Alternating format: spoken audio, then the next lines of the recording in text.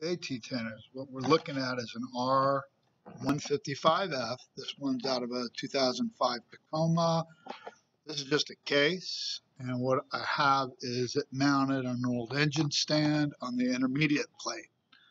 Just to orientate ourselves with a couple different parts, I got a little bit of a crankshaft over here.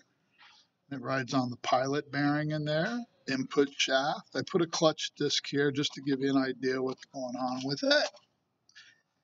All right, and then we have our input shaft. I want you to see that here's another input shaft. This input shaft would be here, and then everything in back of that would be the main shafts. The bottom shaft is called the cluster or the counter shaft. This used to be a four-speed transmission, and what we did was we just added on fifth in the back there. Okay. We have our shift forks there. Okay. those are your major components.